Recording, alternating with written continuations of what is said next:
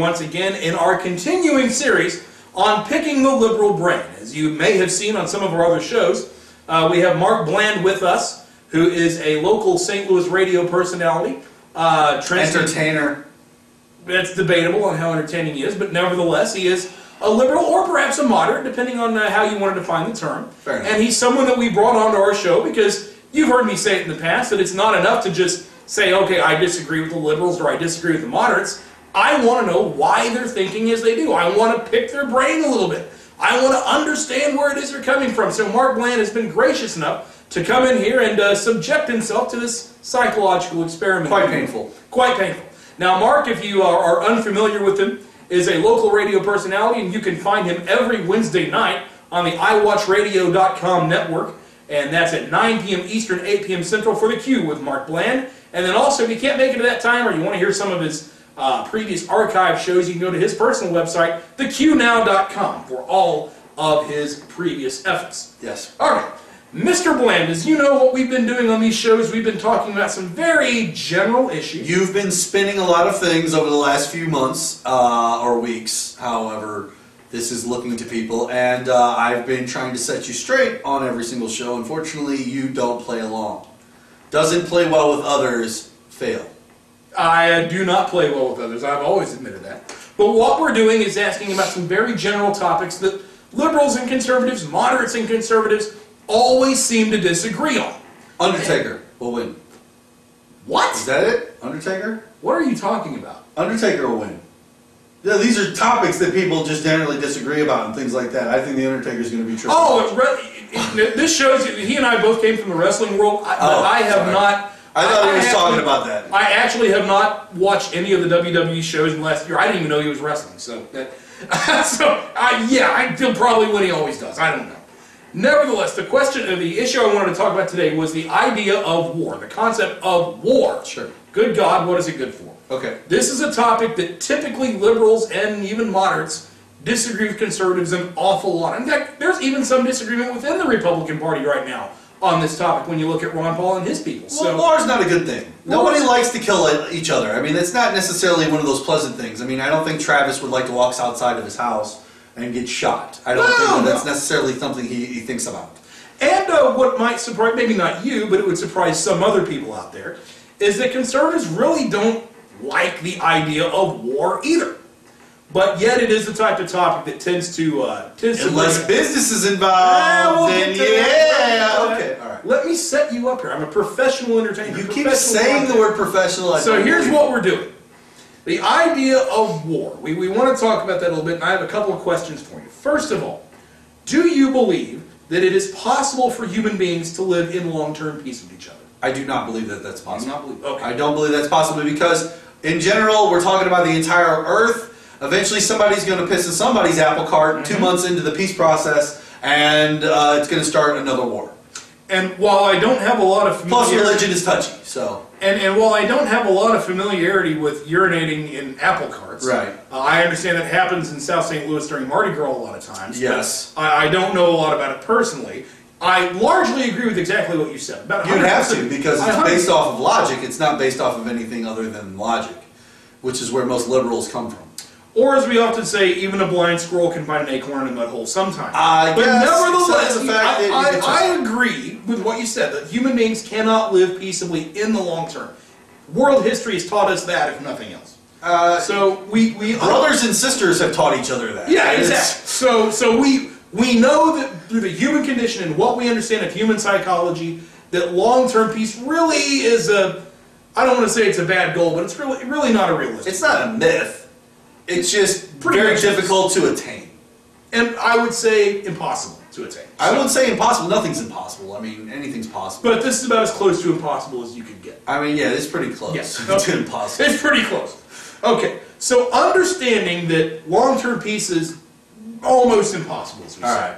and understanding that there will always be potential enemies that any society would have, Of course. including ours. Of course. What do you believe is a bigger deterrent to our potential enemies?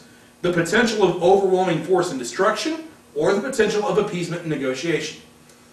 Um, I guess it's, that really depends on who you're dealing with. Mm-hmm. You know, everybody comes from a different cut in this world, and some cuts are, you know, smooth people that don't mind sitting down and hashing things out. Some people, like, you know, Somalian warlords and things like that, they, you know, all they understand is guns to their head. Everybody's everybody's cut like different jib, you know, cut from a different. I'm not sure what a jib is, but But, uh, the- but jib I jab. see what you're saying. Jib jab. Chib jab. Uh, Uh, but but what you're saying essentially is that there are different cultures and different people out there Who understand that different will things. respond to different things. Now, I think that for most people, they would rather try to talk it out at least once before they cut to the gun. Mm-hmm. But some people just don't care. And it doesn't matter how many times you talk it out, they're just going to cut to the gun every time. Okay, so basically, to use an example here, let's say that America had some kind of dispute with Canada Okay. over, I don't know, maple syrup. Okay, sure. Okay? I would say uh, that, that Canadians are generally the type of people we can talk through a little bit, at least at first. Oh, of course. And so maybe some sort of negotiation with them would be fruitful, right? Yeah, very, very much so. Okay? But there might be other groups of people You also got to realize too, before we go any further, you also got to realize that when we are talking about this this situation with war, in most cases, the thing you see on TV is just the bad people. Okay? It's not like, you know, all of South Africa or all of the Congo or all of Iraq and Iran is just negative people running around wanting to kill each other, okay? It's usually just a certain section of the people that happens to get on TV a lot because people like to see chaos and because they're entertained by chaos in general. And so therefore you base your decisions based off the chaos you see on TV. Well, they're always got their turbans on and they're waving their guns and they're screaming Allah Akbar and all this stuff and screaming about how they hate white people and they want to kill the white devil and kill the Americans. Okay, yes, but that's only 200 people here. There's an entire nation of millions that don't they they're not a part of the 200 is my point. You so, So speaking of the people who are wearing the turbans and yelling Allah Sure, Akbar sure, sure, and all of that as you I was using that because everybody is into this terrorist mode. and with good reason considering you know we were attacked. Uh, At least 10 years ago. Yeah, and uh, the 11 potential still ago. exists today. Uh, the it existed the before point, that. The point of all of this is that those people who are of that mind, whether it's 200 or 2 million or 2 billion or whatever the number is, you would likely agree, I would assume. That Stop saying that because if you assume that, it just makes you it makes an ass of you and me. wow, the oldest joke in the book, and you Oldest managed to bust it out joke? my show. That's Booyah! professional entertainer. Okay, Woo! so you would would you agree? Would you agree right. that this uh, towel-headed Allah Akbar stuff Okay. Yes. would be a little, or perhaps even a lot, less open to negotiation and reasoning than, say, the Canadians who you might have a dispute with over maple syrup? I would say those 200 are. I don't think that that necessarily is the government of those specific countries. And when we're talking in generalities of war, it's not just our 200 people we send over there versus those 200 nut, nut jobs that are on TV. It's usually our entire country represented by people like Hillary Clinton, who's Secretary of State, going over to discuss things with their person who's the equivalent of her in their government. Do you see my point? So that guy who she's going to talk to, he doesn't run around with a turban on his head screaming Allah Akbar and you know pulling triggers. That's not how he works. And that's not how the majority of the people she talks to will work. And that's not the majority of people in those governments work.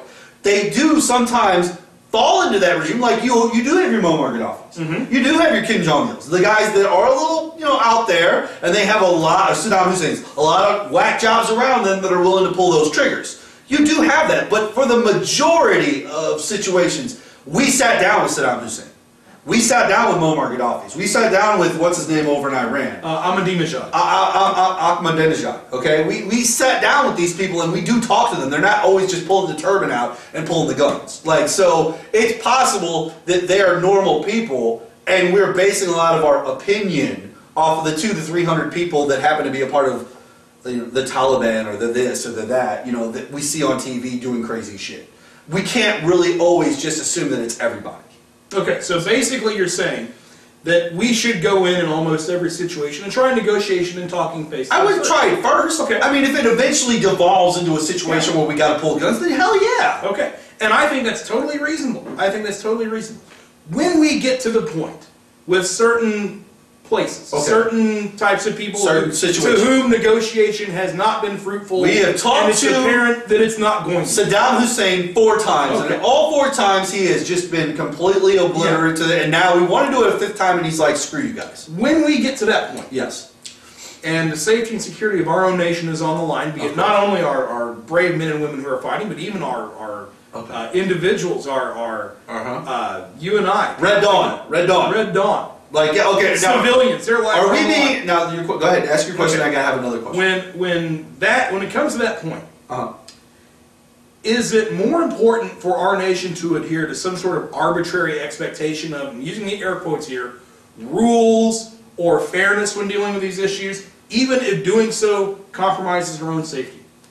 Okay, are we talking about being attacked on our own, or are we talking about taking? Because we live on an island, pretty much called North America, that is completely surrounded by water on both sides. Most of our enemies that we need to get to, aside from potentially Mexico, that's looking a little weird down there. Oh, it's looking way weird. It's looking a little weird down there, and It's been uh, looking weird for years. they got quite a few people over on this side of that border. So that's a little, eh. But at the same point, my question is: Is are we being attacked on our? Or are we talking about taking it to them? What I'm talking about is when the potential exists Uh-huh. significantly right. for harm to be done either to American soldiers. Or, in this case, American private citizens in our own country, for example, or even American private citizens abroad. When their safety is on the line, should we really worry about things like, say, the Geneva Conventions or quote international law, particularly if our enemies, think when- particularly if our enemies are not adhering to those same things? when the crap hits the fan and it's wartime, I think that pretty much all bets are off. You know, the one thing that I agree that George Bush said, and I'm talking about Junior, the, the weird one with the big ears who talked. It wasn't weird, but go ahead. He was a nut job. The one thing I did agree with him was he made a comment one day to a press person at, uh, from the press corps that comes in. to Yeah. the- he had a, a general conversation. Well, every week he does. The president always does things and where he answers questions. Yeah, as a press conference. Well, there was one time when one of the people asked a simple question, and he basically came back. He, he didn't snap on him, but he kind of came back at him and goes, "Let me tell you something. There are thousands of things, and I'm paraphrasing, by the way, thousands of things that happen every single day to ensure the freedoms that you take for granted. True. He says things that you would never want to know ever happen, but are completely 100% necessary to ensure certain things. I kind of agree with that. You don't want to see behind the veil, guys. Yeah. There's a lot of bad things that we have to do on a week to week basis. Now, is it literally like, um, you know, constantly like sticking knives up guys' buttholes in freaking foreign lands to get them to tell us where this is and that is? Potentially. Potentially. Is it every single day? Probably not every single day. But do things like that happen on a, a constant enough basis to where you probably don't want to know about it? Yeah. And I, I think that when it comes right down to it, you have a lot of things that have to be done in a wartime moment that are required. Now, as long as it's a justified war, it has to be a justified war. You have to have a reason.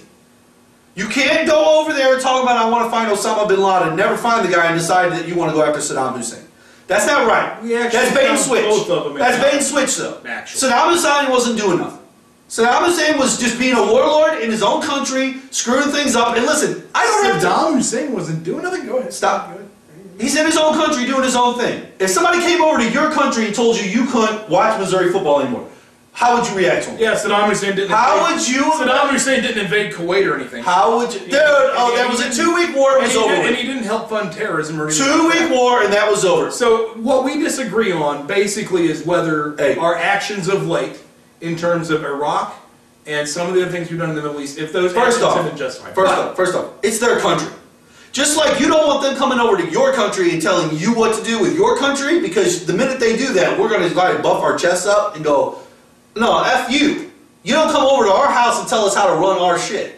That's literally what we would say to them. Because I'm an American, I know exactly what I would say to them, and I know exactly what Travis and a lot of other our friends would say to these people. Okay? Because we all grew up in the same country with the same Michael Jacksons, the same everything. Okay? My point is, is that we should think that our rules apply to them too. We shouldn't think that if we go into their country and try to tell them how to run their shit, that they won't puff their chest and go, no, F you. That's the point. Our rules, our land. Their rules, their land. They're separate things. Our Constitution does not apply to them, and their Constitution does not apply to us. So what happens when, as you say, you start out in this idea of our rules, our land, their rules, their land? What happens when their land or someone within their land becomes a threat to our land. Well, we take care of that. We have, and, and I agree that we should take care of that. We did know we did that- take care of that. Well, it's not done. No, it is done. No, it's not done. Give me an example. Is is militant Islam completely eradicated from this earth? Militant Islam will never be completely eradicated from this earth. Then to sit there. always be at war. Okay, the war on terror. Okay, I got the war on love coming up right after that. Okay, do you understand my point? You have an ideology of something that you're trying to go after. You can't tear down an ideology. It doesn't. It, it, it, does- it's not. It's not something that exists. You're trying to say that basically you have a war on whack job crazies. We get it. You have a war on whack job. Everyone's got a war on whack Let job me, crazies. let me interject something here. When it comes specifically to the terminology of the war on terror, and I've said this on this show before, okay. I have always hated that terminology.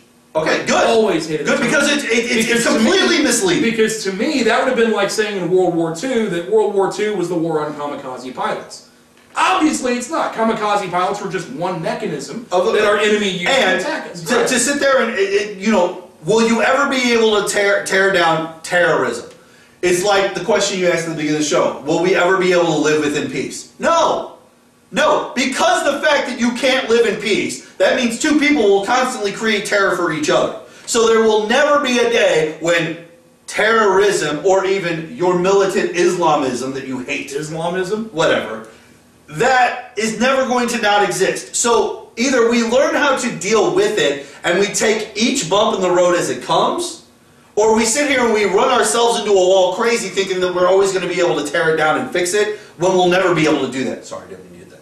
I'm just saying. That's what brutalizing this beautiful computer. But I think where we're disagreeing, because there's a lot of things we agree on here, it sounds like. Okay. We agree that human beings probably will never be able to live in peace. No. We agree that uh, we do have to protect ourselves. Our nation has to protect itself Yep, first and of course, foremost. of course.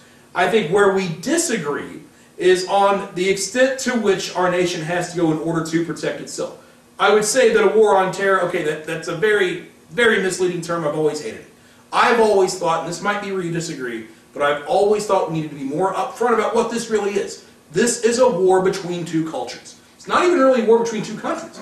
It's a war between two cultures, and yeah, to, to the extent that that particular religion has a large role to play in It's that weird culture, that you say that. I suppose it is a war on their religion. It is a war on two cultures to an extent. I think what it really comes down to is, is they're just not willing to leave the other people alone. Yeah. Okay? That's what it really comes down to. See, the United States of America, we're willing to leave others alone in general. Generally, yeah. Okay? We don't go around kicking down doors. We're not, you know, Caesar. We're not trying to take over lands or anything. Although we technically could. Yeah. The, the day and age of nuclear weapons and allies and the fact that the Chinese army could destroy us because of their physical size, things like like those things still exist, but we don't play that game anymore the way that they used to. We don't like get all the armies together and we start storming. There's a lot of other things you we can do aside other things. Physical. Yeah, we do other things now to change the game, and I think that the other countries just need. It's it's one of those things. There's always going to be that kid in school that you just don't like, and he doesn't necessarily like you either. But as long as there's that understanding that you guys know that you don't like each other and you just leave each other alone, everybody's fine. It's when one or the other decides that they want to play in the other one's playground and create the problem. You know, if, if I have a playground and that kid's got a playground and we don't like each other and he goes, listen, stay on your side of the playground, stay over here, I won't come over here, I won't bother you at all. Same goes for you though. You don't come over here, you don't bother me at all. We didn't realize the problem that we had with that playground over there. That's the problem with the whole Iraq situation in terrorism and where this all came from on 9 11. We didn't realize that that existed at that level. We knew that, yeah, they have a religion where they talk down on us a lot, but we didn't realize that it had gotten to that boiling point that they decided that they were going to try to take planes into our buildings. Or to, to the extent, may- maybe a better way to phrase it. because that it. caught everybody off guard. Yeah, well, maybe a better way to phrase it would have been that we knew there was a problem, but, and, and I can say this for myself, even back when I grew up. I knew there was a problem over there. I knew those people were nut jobs and whatever else. But the thought I always had, and people I was around always had prior to 9 11 was, you know what, they're all attacking each other, blowing each other up over there. As long as they just keep doing that, As long as they leave us out of it. Yeah, it's the same the idea second- World War II. Yeah. But the second they attacked us, totally different ballgame, and now we have to essentially do a house cleaning over there. Now, the Now we don't, but see that's the well, problem. that's the difference. Once you go, okay, so but here's the thing. That's what most conservatives say. We have to do a house cleaning over there. That's not how it's presented to the American public, which is liberals and moderates and Republicans that all vote together. The guy who's the number one conservative, which is the president at the time, George Bush, mm-hmm. presents this as, well, this is a war on terror. We need to go after Osama bin Laden. So that's how he presents it to everybody. But what he really wants to say is, we want to pull some guns out and clean house, man, because we just love running around with our guns out cleaning house. That's what he wants to say. He didn't say that because he knew he couldn't get support that way. But if he goes, we want to get that guy who took down those buildings, okay, you pointed it at one specific person in his little group of people, so now everybody's going to be a little bit more understanding and be like, okay, yeah, we need to get that dude. The problem arose when we didn't get that dude. When we didn't get that dude, all the, all the nut that job, dude? all, all the conservatives at the time, two years into that war on terror, okay? Let's, let's, let's move forward to 2005. Two years into that war on terror, after his re-election and all that, okay? Mm-hmm. We still hadn't gotten Osama bin Laden. It hadn't happened. In fact, at that point, most people were trying to figure out if he was still alive or dead. Because there had been multiple bombings in the mountains of Afghanistan and things like that. People thought he might have just gotten killed and they were just putting out random tapes, Yeah. old stuff, okay? They didn't even really know. So while that's going on over there, they're like, you know what? We got other problems with some people over here, so since we can't find this guy, we're going to go after this guy over here. Well, what's our problem with him? Well, we had Kuwait. It ended two weeks later, or like actually 48 hours later. But it, two weeks later, pretty much that situation was done. You didn't even hear Saddam Hussein's name for like 12 years. Like legitimate, like like not in the news. He didn't do anything bad. He wasn't a part of anything. It was just like Saddam Hussein, Kuwait, beat that shit down. We move on. 12 years, nothing. You didn't hear shit. What I would say, Word. what I would say, and you're going to be surprised that I agree with you to a degree on this. I think a mistake that George W. Bush made mm-hmm. was basically saying, as you said, that this was essentially an issue with Osama bin Laden and the Taliban strictly, or Al Qaeda strictly. I have always said, and those of you who watch this show from day one, you've heard me say that the Taliban and Al Qaeda are the symptom and not the disease. And George W. Bush essentially identified the symptom and tried to treat that instead of treating the disease. Now, once Saddam Hussein got involved in it, we started going to Iraq. My thought, and this may be where we disagree, my thought was, okay, we're finally treating the disease, even if George W. Bush isn't Do you remember how saying do you re, do you remember how we got him involved? It was very interesting. We asked them if we could come into their land. We asked them to find Osama bin Laden. And he said, "No, I don't think that that's right. I don't want to be a part of your issue." This is what Saddam Hussein said. Like, I'm not defending Saddam Hussein, but we went to him and said, "We are look No, no, no, listen. We are looking for Osama bin Laden." He said, Well, I will try to help you guys as best I can, but I don't think that that's right. What do you mean you don't think that that's right? The minute that he did just immediately agree with what we wanted to do in his own country, that's when we started to have a problem with him. See, that's not right. Just because he, in his own land, his own rules, doesn't agree with us wanting to be pushy, that doesn't make him a bad person, and all of a sudden, before you know it, it's like he pushes a little, then he pushes back. And that's Then we I- push a little, and he That's pushes what I would say at that given time, given the history we had had with Saddam Hussein, But why? that, that he was not trustworthy. But why would you create the problem? You're We- just we- asking we him to go into his land. we Why not- create we the did problem? Not create the problem. We didn't create the problem. He created he, he which which He had nothing to do with Osama bin Laden. We don't know point. that.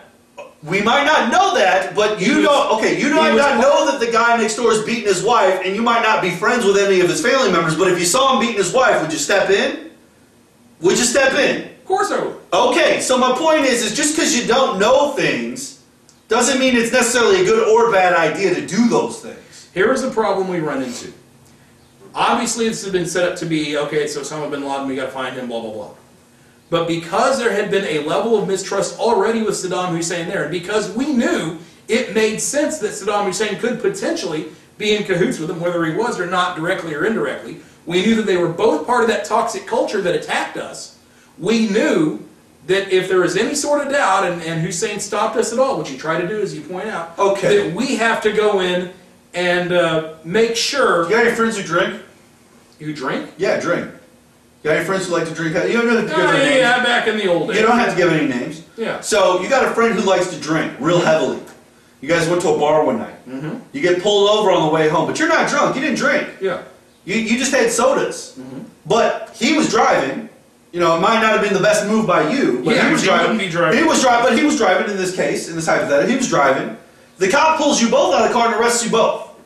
Tries to, to, to throw the the, the, uh, the because you are with the situation because you are associated with that individual. Then you obviously fall into the same drug category Yeah. as that individual. Now we have ways to preclude that here in the United States. You know, ways to stop that, uh, breathalyzers and things like that. But when we're talking about such a general thing like you're talking about, just to assume something over here because they know each other or they're in the same relative area as each other, that's a pretty big jump, man. It is a pretty big jump, but when we're talking about our own safety and security, I think it's a jump that you sometimes have to make in those very critical situations.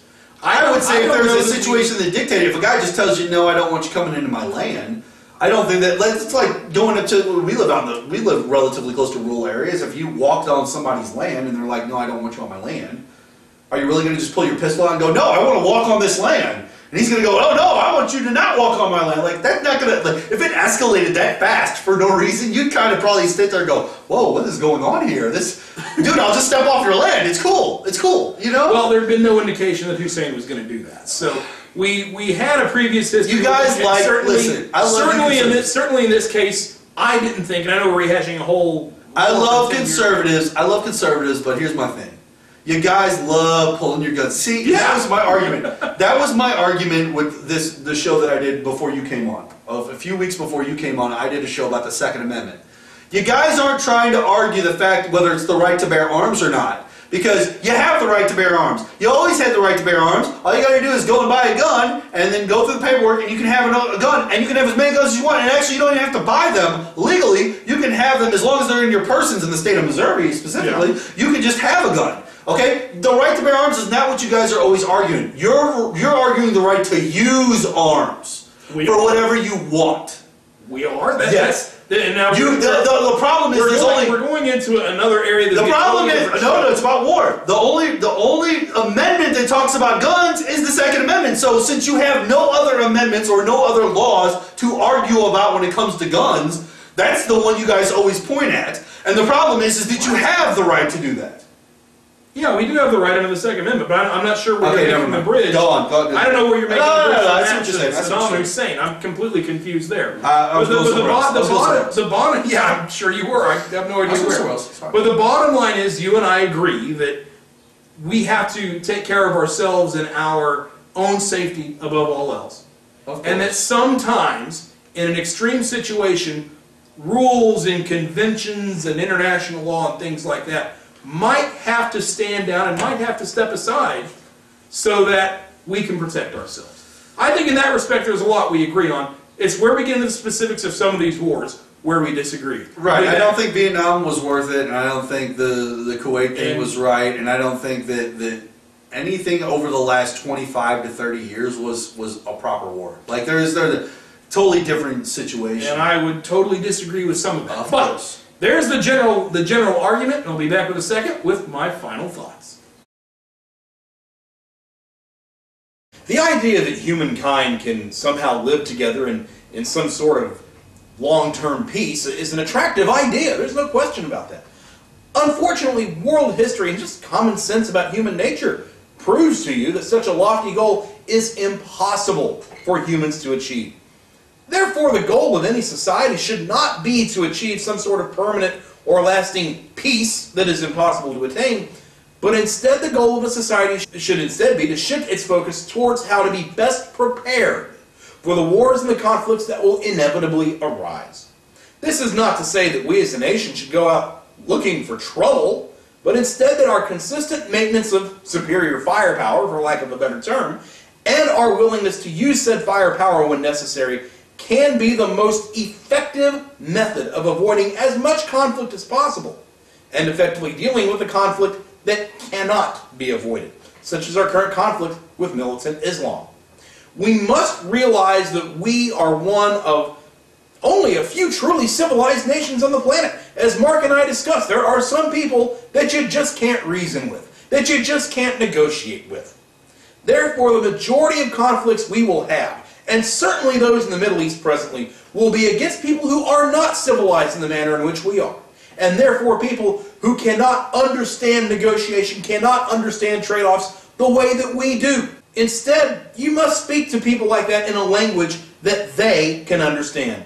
And that language, more often than not, is violence. Wasting time worrying about fairness or conventions or international law or understanding our enemy, all of that is an act of folly when you're dealing with our own safety and our own security. Whether we're better than them or sinking to their level, as you often hear the left say, all of that is not important. It's not important whether we show that we're better than them. It's not important whether or not we sink to their level. What is important is who survives and who does not survive. That's the only thing that matters in a war. Nobody is in favor of war, certainly not even the conservatives. However, we on the conservative side understand that war is a necessary component of the human condition. It cannot be avoided.